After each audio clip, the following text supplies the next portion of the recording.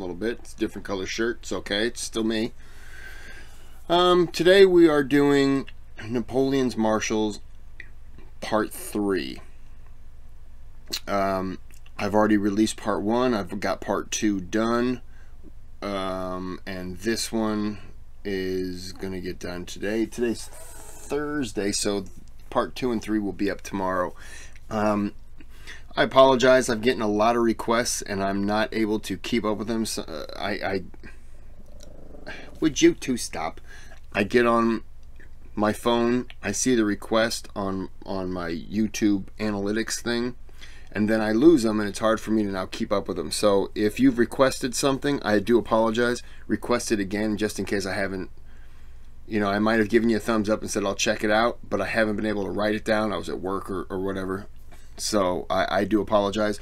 Uh, Alexander the Great, I know, was mentioned. And if I don't put your name on there, there was just a lot of names listed, and, and I do apologize for that. I try to keep up and try to give the, the props to the people who ask for things. But um, without further ado, we're going to go ahead and open up a classic cola. Today was a good day. Today was a good day. Nice day at work. We're going to open up a cola and we're going to go ahead and get into this video and um, and then we'll watch it together. We'll learn.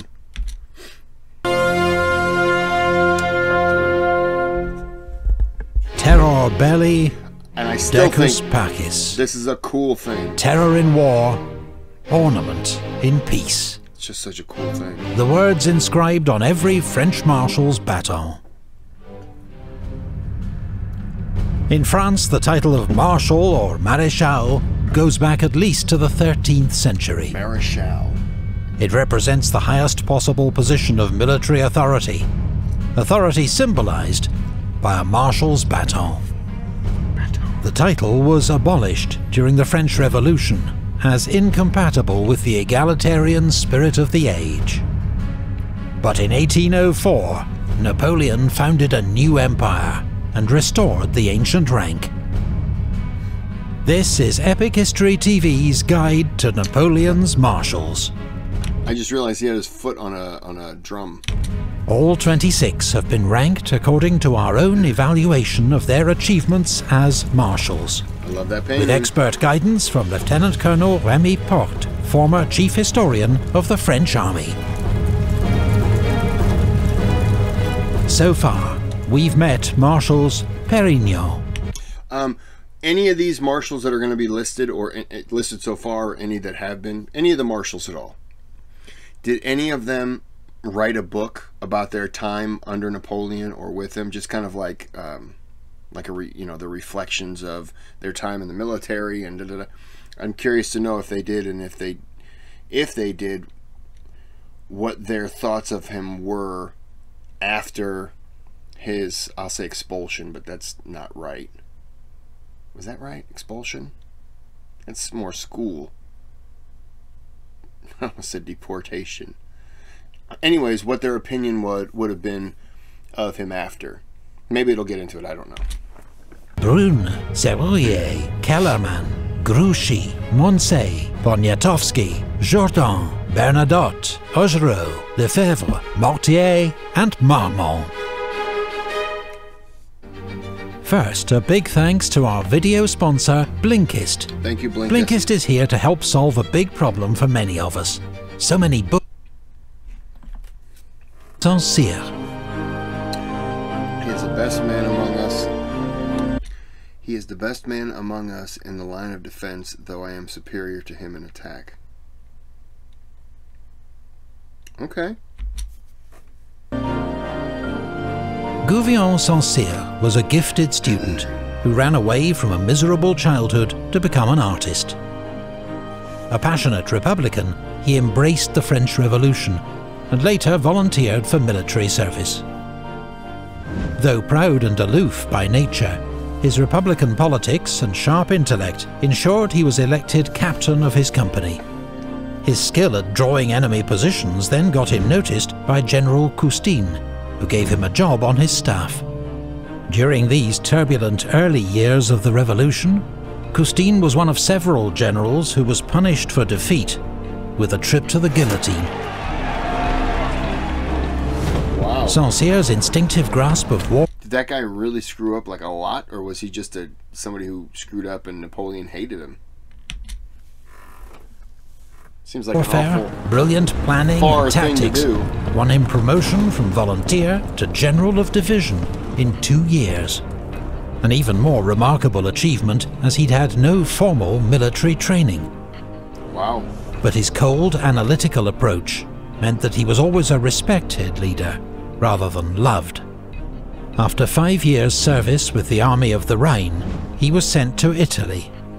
At the disastrous Battle of Novi, he commanded the French right wing, but skillfully extricated his troops from the debacle. The next year he was back on the Rhine and won a brilliant victory over the Austrians at Biberach but a bitter dispute with his commander, General Moreau, encouraged rumours that Saint-Cyr was impossible to work with.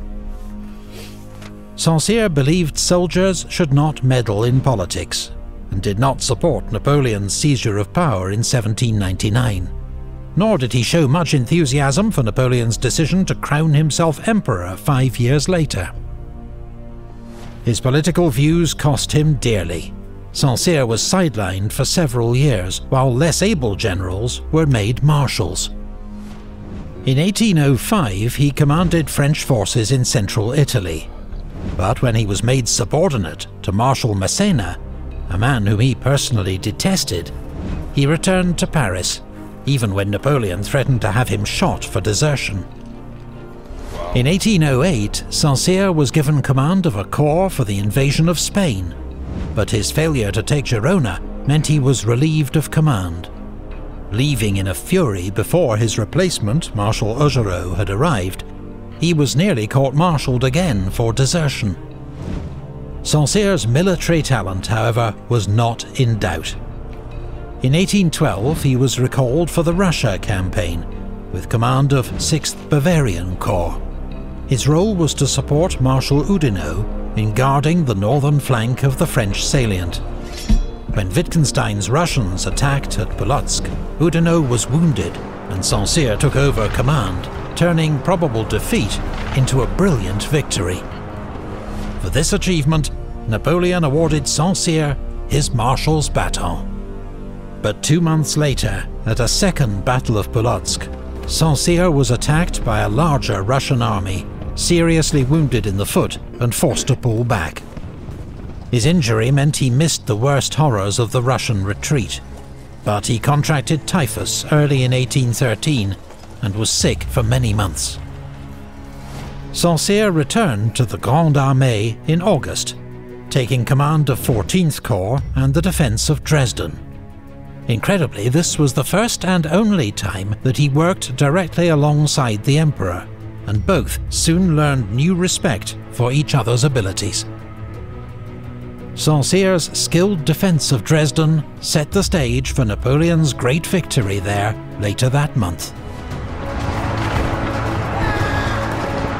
But Saint-Cyr was incredulous when Napoleon later ordered him to remain in Dresden, while other forces concentrated for the decisive Battle of Leipzig, 60 miles to the west. Napoleon's defeat at Leipzig meant that Saint-Cyr and other garrisons in the east were cut off and had to surrender that autumn. Saint-Cyr took no part in the Hundred Days, determined to keep out of France's political disputes. Under the restored monarchy, he served as Minister of War, and tried, but failed, to save Marshal Ney from the death penalty. He also struggled to enact military reforms in the face of royalist opposition, eventually resigning in disgust and retiring to his country estate.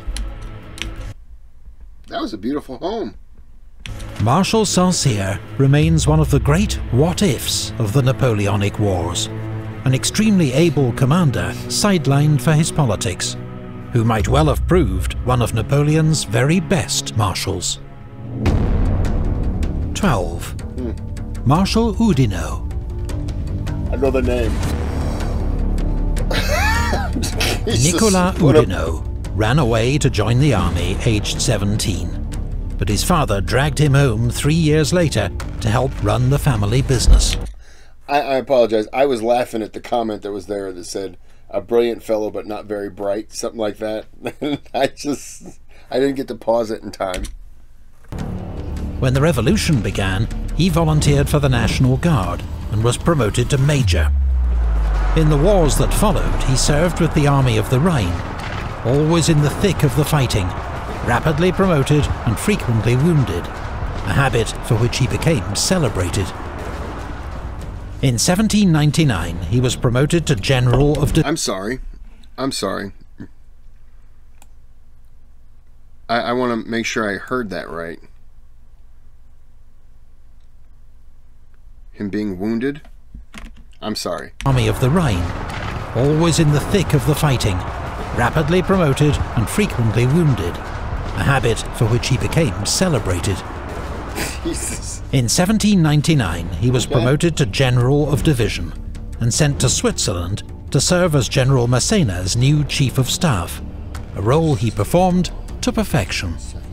Serving with General Brune in Italy, he led a cavalry charge against an Austrian battery at the Battle of Monzambano, sabring gunners and capturing one cannon himself, a feat for which Napoleon awarded him a Sword of Honour.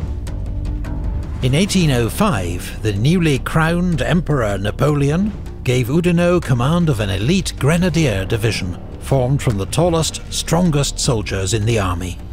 In December that year, at the Battle of Austerlitz, Oudinot insisted on... Um, grenadiers. Um, I know the name, but I don't know what that means. Would that be... Uh, Panda, this is for you, or anyone who would know. Would that be like uh, the U.S. Marines, or would it be like uh, Army Rangers, Navy SEALs? Like, what would be?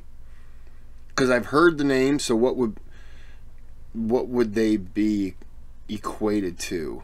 N- not necessarily now, but uh, what would they be equated to that I would understand? Oh, okay, that's he he was leading a skilled set of the army, or the Marines.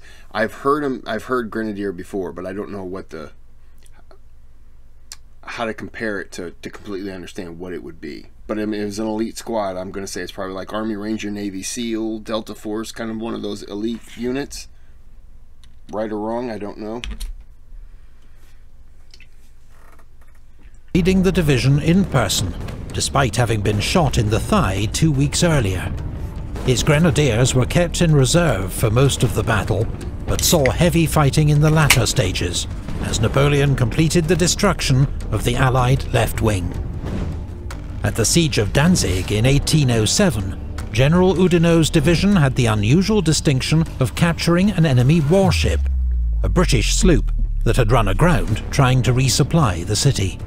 Oh, that sucks. A month later, at Friedland, Oudinot and his grenadiers were under Marshal Lannes' command and played a crucial role holding up the Russian army, until Napoleon arrived to deal a decisive blow. During the 1809 war with Austria, Oudinot was wounded once more at the Battle of Aspern. When Marshal Lannes died of his wounds... How many times was Oudinot injured? And was him being injured that he was celebrated? So it was like a good sign. Like when he was injured, that that meant they were going to win, or was it just like, oh hey, look, you got shot in the ass again. Congratulations. Like. Napoleon chose Oudinot to succeed him as commander of Second Corps.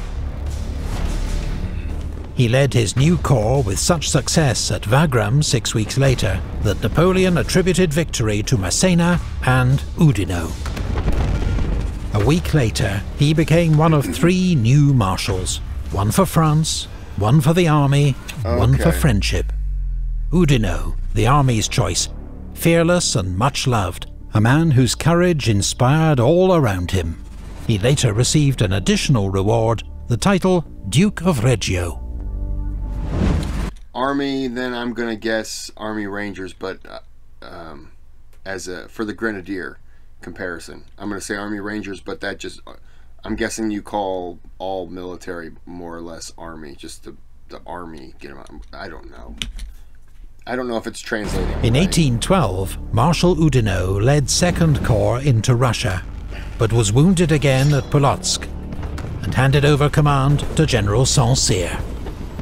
Ten weeks later, he was back with his corps, marching south to join up with Napoleon's army on its retreat from Moscow. My, my Oudinot's men were shocked when they... I apologize for the glitching. It's just... Oh, that's a beautiful painting. I'm sure I've said that before. Uh, my fiber optics every now and then just kind of glitches. And just... Not glitches, but it slows. So I'm just trying to kind of let it buffer. You you understand? You've seen. Saw their old comrades from the main column. They looked more like fugitives than soldiers of the Grande Armée.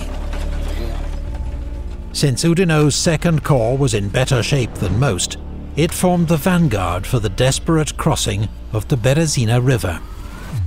But the next day, in bitter fighting to hold the bridgehead against the Russians, Oudinot was shot from his saddle. Of course he was. He was carried back to a cottage with a serious gunshot wound. But then he and his party became surrounded by Cossacks. Oudinot asked for his pistols, and from his bed, aiming through an opening opposite, began firing at the Cossacks. they were rescued by friendly troops, just in time. Wow.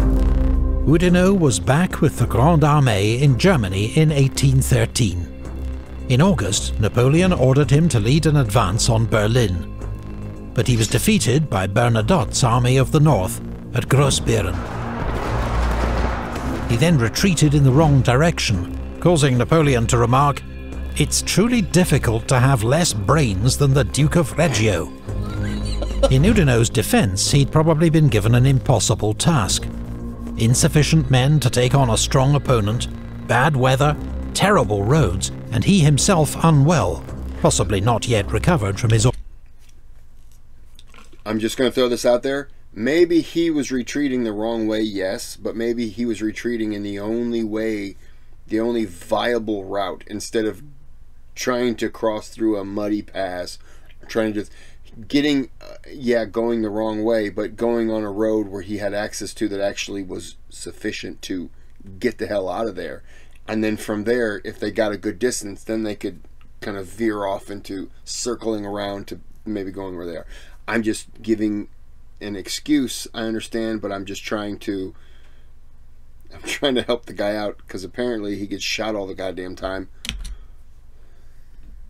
Ordeal in russia Napoleon put Oudinot back where he was most effective, leading troops in combat under his close supervision.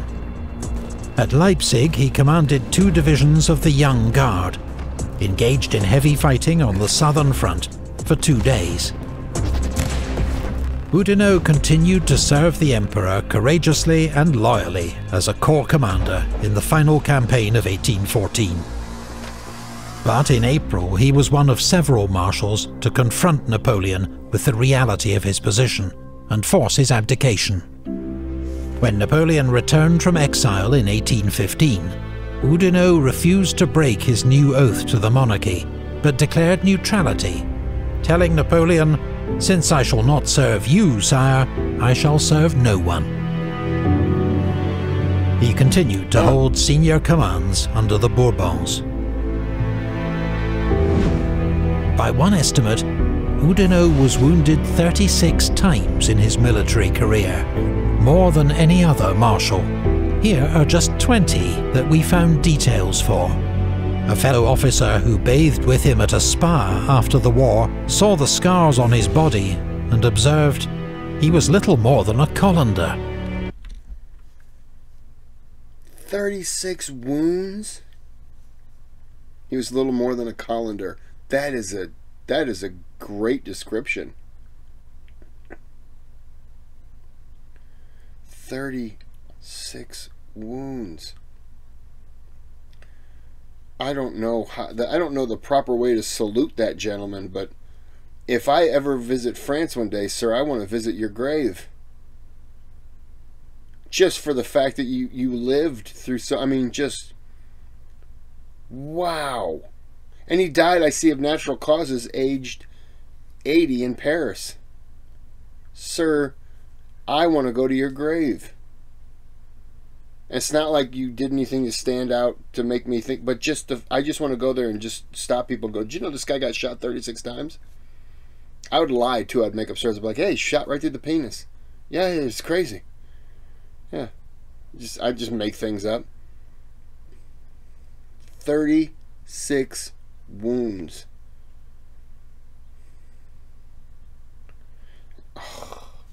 I am. Wow. That's all I can say to that. Wow. Ironically, Oudinot was also one of the longest lived marshals, dying aged 80 while serving as governor of Les Invalides. And he probably died because he like sneezed too hard. Like something ridiculous. He sneezed too hard and gave himself a stroke. Something ridiculous. First impressions mean a lot, like hell? when you hire someone new. The Bamboo HR Definitive Guide to Onboarding shows you how to get it right. Okay. Sorry. 11. Marshal Victor. Is that a good thing or a Claude bad thing? Victor Perrin was an experienced soldier by the time of the French Revolution, a sergeant with eight years' service in the Grenoble Artillery Regiment. Every single one of these, I apologize. The first thing I look at is the background, and then I look to see when they died. and then I skim over the major battles. But it's like I look at the top and then the bottom. I just want to know where they came from and how long did they live. Sorry. The Revolutionary Wars brought the opportunity for rapid promotion, and by 1793 he was commanding an infantry battalion at the Siege of Toulon. He led a daring night assault on British defences alongside the army's artillery chief, a young Major Bonaparte. Both men were wounded, but the attack was a success. This was when Bonaparte was a... I'm going to say a cannon. He was involved with the cannons, but that's that's a terrible way to word it. I don't remember the the correct wording of it, but you you know what I'm saying. So these two, he wasn't Napoleon wasn't Napoleon that he became. He, what did I just say? Napoleon wasn't the Napoleon that we all know him as. Something like that. Okay. and both were quickly promoted to brigadier general. Victor served under General Bonaparte in Italy and turned out to be a brilliant brigade commander. So these two had history. In 1800, he distinguished himself at the Battle of Marengo, where his command of the left wing won particular praise from Napoleon. But Victor did not hide his disapproval of Napoleon's quest for political power, and as a result, received relatively minor roles under the new regime. In 1802, he was earmarked to lead an expedition to recover the French territory of Louisiana. But it was called off when Napoleon decided instead to sell Louisiana to the United States. Victor and Marshal Lannes were close friends from their days serving together. Um, was he looking forward to going to Louisiana? Or was it just kind of, I'm pointing you, and then he undercut it by just selling it because they needed the money? I don't know. in Italy. In 1806, Lannes persuaded Napoleon to let him have Victor as his new chief of staff for Fifth Corps. Napoleon agreed, and in October, Victor served as Lannes' deputy at the Battle of Jena.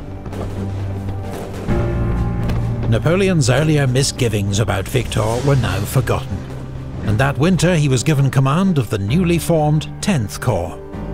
But within weeks, he was captured by a Prussian patrol and had to be exchanged for a captured Prussian officer, General von Blücher.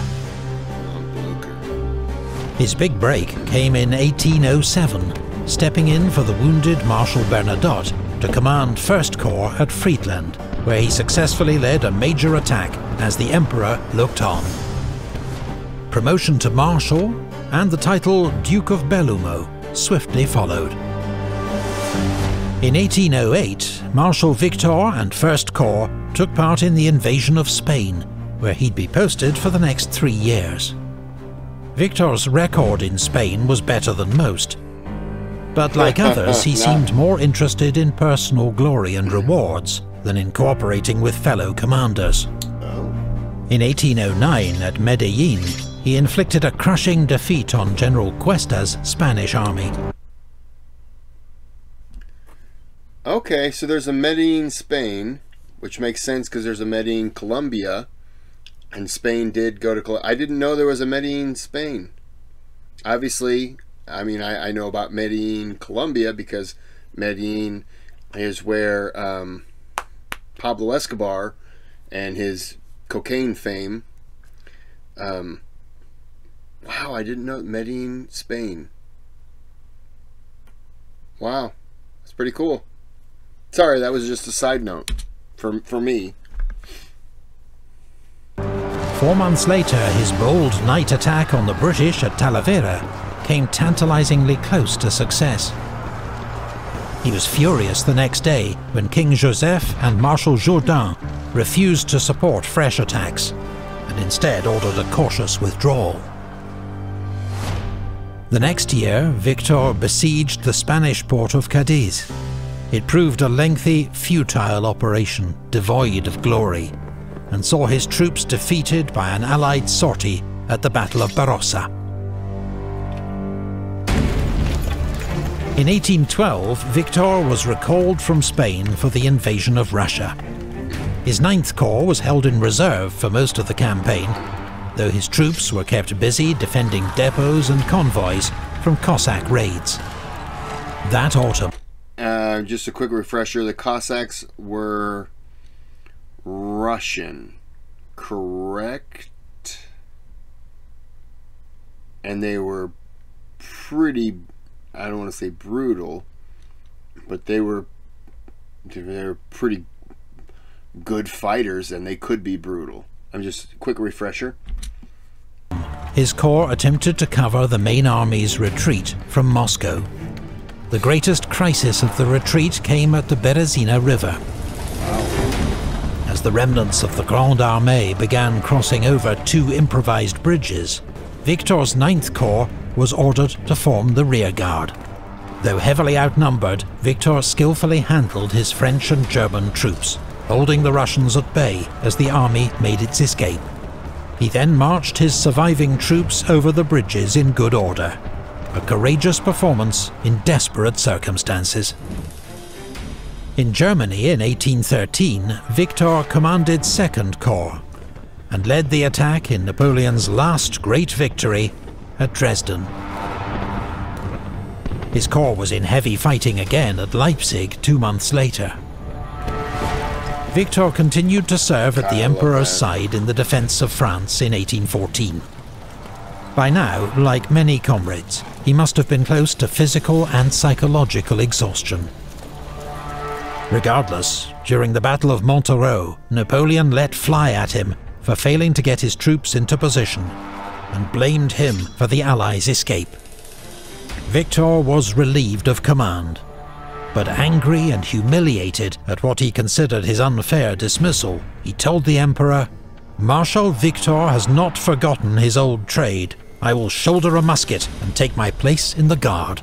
Moved by this response, Napoleon relented and gave Victor command of a corps of Young Guard. Two weeks later he was badly wounded at the Battle of Craonne and took no further part in the war.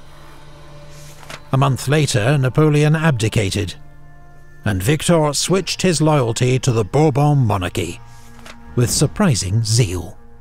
He led an investigation into former comrades who'd supported Napoleon during the Hundred Days, and was one of only two active marshals to vote for the death penalty for Marshal Ney, a decision he later claimed to regret. Victor later served as Minister of War, but retired from public life in 1830, following the overthrow of the Bourbon monarchy. 10. Marshal Murat I cannot conceive how so brave a man could be so unreliable. He was only brave when facing the enemy. In council, he was a fool with no judgment. You know, so far, was it 26 they started out with? So these 16 guys, I don't see very many high marks from Napoleon on a lot of these people. Was was Napoleon just a very I don't uh, like a self-centered person who believed that if he dished out too much of a compliment, that person was going to somehow rise above him? Or were these people just really not as as good? Or was he just Napoleon just kind of a dick overall? That's the feeling I'm getting is he's just kind of a dick kind of guy. And he didn't want to give you too much praise because he didn't want you to get a big ego.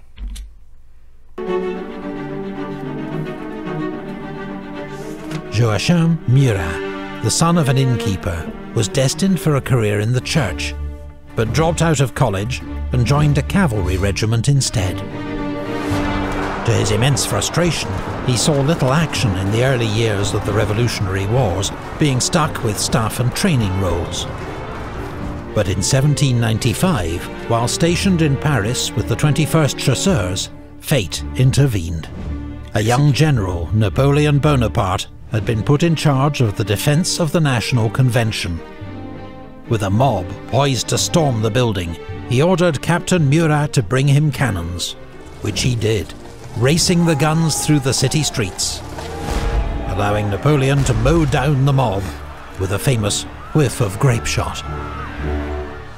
Napoleon was hailed as the saviour of the government and rewarded with command of the army of Italy, Murat was promoted colonel and went with him as his new aide-de-camp. He soon made a name for himself as a bold and brilliant leader of cavalry. While his six-foot height, curly locks and love of women ensured fame as France's foremost beau sabreur. Dashing swordsman. In 1798, Murat joined Napoleon's expedition to Egypt at the Battle of Abu Qir, his flanking charge broke the enemy, and Murat personally took the Ottoman commander prisoner, despite being shot in the jaw, a wound which, to his immense relief, did not ruin his looks. Back in Paris, Napoleon launched his coup d'etat to seize political power. When he got a hostile reception from the Council of 500, it was Murat who saved the day leading troops in to clear the chamber, shouting, Citizens, you have been dissolved, before adding something a bit more coarse. His place at the future emperor's side was further assured when he married Napoleon's youngest sister, Caroline, in 1800. Later that year, he commanded the French cavalry. Are there any, and I'm sure there are, are there any Napoleon uh, descendants alive today that are well known or anything like that? Or are they just kind of like living in the shadows, doing their own thing? The fact that they're related to him is just kind of like, eh. You know, they're not bragging about it or anything like that. Excuse me. And how is Napoleon viewed today? Is he thought of as a good thing, a bad thing? Curious. Reserve at Marengo and helped Napoleon to win a decisive victory over the Austrians. When Napoleon established his empire in 1804, Murat became a marshal, second in seniority only to Berthier. He'd later also receive the title Prince of the Empire and the rank of Grand Admiral. In the 1805 campaign, he commanded Napoleon's cavalry reserve, his excellent reconnaissance and diversions proving crucial in the encirclement of General Mack's Austrian army at Ulm. Three weeks later, Murat and Marshal Lannes, who normally couldn't stand each other, together bluffed an Austrian commander into surrendering a vital bridge by persuading him that an armistice had been signed when it hadn't. It was a bold stunt, but overall Napoleon was not impressed by Murat's pursuit of the enemy. I cannot approve your manner of march. You go on like a stunned fool, taking not the least notice of my orders. Yet in battle, Murat remained a brilliant and inspiring leader. as demonstrated at Austerlitz, and the next year at Jena, where he led the decisive charge, wielding only his riding crop. The next year, at Eylau, with the Russians poised to break through his centre, Napoleon ordered Murat to lead a mass cavalry charge straight at the enemy. Murat's men succeeded and saved the army from disaster, though at a terrible price in men and horses. Napoleon had rewarded Murat in 1806 by making him sovereign prince of the Grand Duchy of Berg. In 1808 he sent Murat to Spain to act as his representative. Spain was still a French ally, but in May Napoleon's heavy-handed meddling in Spanish affairs triggered a ferocious backlash. Madrid rose up against the French garrison, and Murat's troops fought back with brutal force, killing around 200, executing 300 more. When Napoleon deposed Spain's Bourbon monarchy, Murat hoped he'd be made the new king of Spain. But that title went to Napoleon's brother, Joseph. Murat instead received the throne of Naples. If it felt like second prize, it wasn't bad going for an innkeeper's son, college dropout, and ex-cavalry trooper. Yeah, I guess you just kind of looking at your background, figuring what you would expect. Yeah, you got passed over for the brother, but you it's a shitty thing, but yeah, it kind of happened a lot, but you still got recognition. You watching the video, Maiden? Your sister's snoring. Yeah, he still got something out of it, so I guess he can't be too mad. Napoleon expected Murat to merely represent his interests in Naples, but Murat had other ideas. He reformed the Neapolitan army, equipping it with splendid new uniforms, and turned a blind eye to smuggling, which undermined Napoleon's economic war against Britain, the so-called Continental System relations between Murat and the Emperor became strained. But when Napoleon began planning to invade Russia in 1812, only Murat would do to lead his cavalry. Their differences were put to one side. Murat took command of four cavalry corps and became Napoleon's second in command. During the advance into Russia, Murat's cavalry faced a difficult and frustrating task trying to locate the enemy in a vast landscape. Horses died in their thousands from poor fodder and exhaustion, and they faced a dangerous and wily opponent in Russia's Cossacks. Murat, always riding with the advance guard, was so fearless and conspicuous in his extravagant uniforms that the Cossacks came to admire him, calling out, Ura, Murat, whenever they saw him and hoped to capture him alive if possible. Murat was among those who tried to persuade Napoleon to halt the advance at Smolensk, but was ignored. At the great clash between the French and Russian armies at Borodino, Murat was at his best, directing a series of attacks on the Russian earthworks, always where the action was hottest, inspiring all with his courage. Murat remained with the army during the retreat from Moscow, though his magnificent cavalry had virtually ceased to exist. One eyewitness noted that throughout the ordeal, he never neglected his appearance. Even at the Berezina he looked splendid, in an open-necked shirt, velvet cloak, a white feather in his cap. When Napoleon left the army to return to Paris, he gave command to Marshal Murat. But Murat, now primarily concerned with hanging on to his kingdom, left the army a month later and returned to Naples, where he opened secret negotiations with the coalition. He offered to join the war against Napoleon if the other powers would let him keep his crown. But he received only a lukewarm response. So in 1813, when Napoleon asked Murat to join him in Germany, to fight for their thrones together, he answered the call. Murat had become increasingly difficult to work with, oversensitive about his royal status, prone to tantrums, but in battle as fearless as ever. Really seems to be a guy who kind of goes with the breeze, like a lot of Napoleon is the is the man, and he's fighting wars, and we're winning. All right, I'll stick with you. Napoleon is is losing, and a lot of countries are coming together, and yeah, I'll stick with you guys. You guys, you know, no. Napoleon's got a charge, and like the guy really just kind of sways with the breeze, and I can't fault him for that. He's going whichever side is going to win, and he's going to stick with that side. It's kind of a dick move, but you know, got to do what you can to survive. At Dresden, his charge through rain and mud shattered the Austrian left wing and paved the way for victory. But then at Liebertwolkwitz, he showed his limitations when not under Napoleon's direct command, getting drawn into a major and unnecessary cavalry battle with coalition forces, and twice nearly being captured himself. Two days later, at the Battle of Leipzig, he led another of history's great cavalry charges, coming close to breaking the enemy's centre, and even capturing the Allied monarchs. But it was not to be.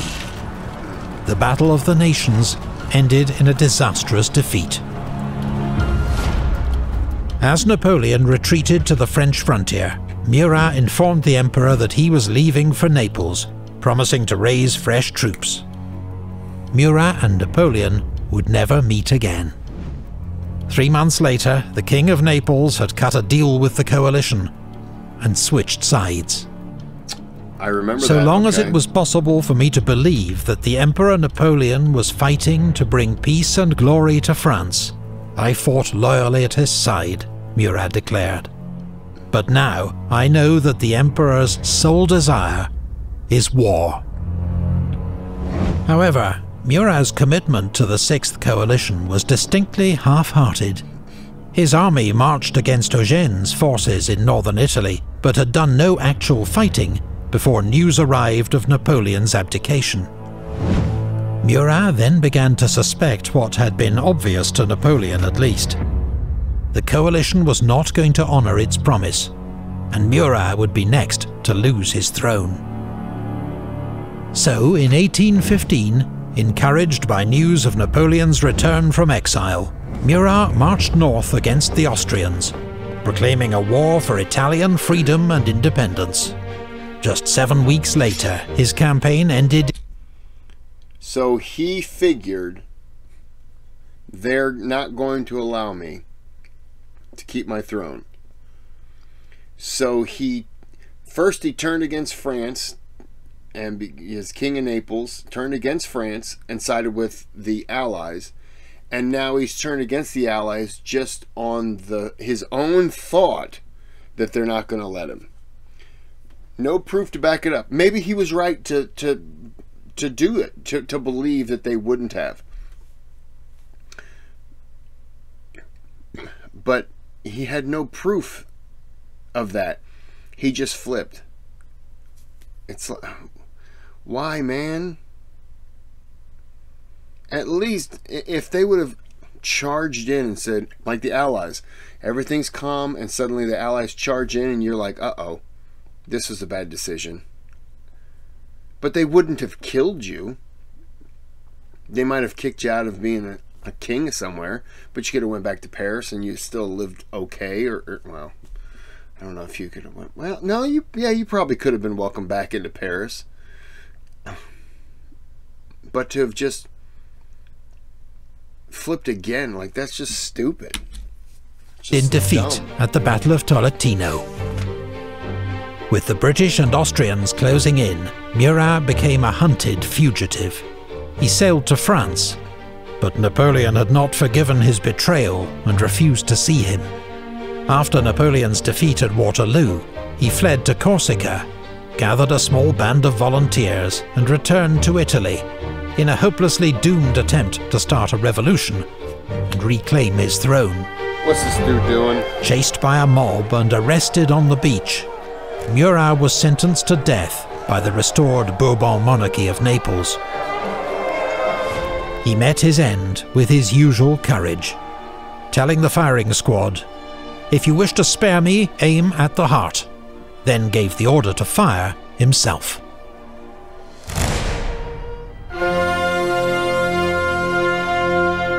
Murat is rightly remembered as one of the great battlefield cavalry commanders of history. Inspirational, fearless, with brilliant tactical instinct. But outside of combat, he was, in Napoleon's estimation, a very poor general. He always waged war without maps. Worse, when the conflict turned against France, he allowed self-interest and vanity to prevail over loyalty to the emperor. As Napoleon's chief of staff, Marshal Berthier, once told him, You're only a king by the grace of Napoleon and French blood. It's black ingratitude that's blinding you. Saint-Cyr, Oudinot, Victor, Murat. 17 down, 9 to go. Join Wow. us for part 4 This is good. This is good. I still can't get it, and I'm going to butcher the name. Udino, number 12. Udino. What a, what a man. I get a splinter, and I'm just like, okay, hold on. We all, the world has to stop while I get this splinter out. The Man was shot 36 times. Not necessarily shot, but he was wounded 36 times. Just think how that feels. You got shot with a musket ball just one time. I mean, what the damage that it could do inside. And that man had 36 different wounds. Wow. That man. If I told you, hey, I want to shoot you with a mus if this thing worked and I wanted to shoot you with a musket pistol just to see what would happen, right? I'm going to shoot you in the hand. You might be like, "No." But let's say you were like, "Okay, that's fine." And then what if right after that I said, "Okay, but I'm also going to shoot you 35 other times throughout your body with the intent to kill you." We'll just see what happens. How many of those do you think it would take? It's just it's just crazy. I can't get over that. I'm I'm gonna end the video here because the video's over. I'm gonna end it here. I'm gonna go get some dinner, and I'm just gonna think 36 wounds. I see why they celebrated him. Oh, he got shot again. Oh yeah, yeah. No, he was supposed to. It's all he does. He was just a magnet for for shrapnel and bullets. Jesus. it's like he had a flag that was just designated like I'm on the battlefield and I'm ready to get shot again. And how long do you think he was down for each time he was wounded? Couple months? Three, six months? He was back on it. I, I'm curious to know when his first wound was to when his last wound was. 36 wounds. He didn't have time to recover. Wow. Just crazy. Well, I'm gonna end it here, and I'm gonna. I think I'm. This is number three, and I think there were six of them. Maybe seven, six of them for sure. So I'm gonna guess. I'm gonna guess six, and then the next three, three, three. So I'm gonna end this one here. Who'd know? You just impressed the shit out of me. All right, I'm gonna end this here. Like and subscribe. If you haven't, do it. If you have, do it again. And have a good day. Have a good night.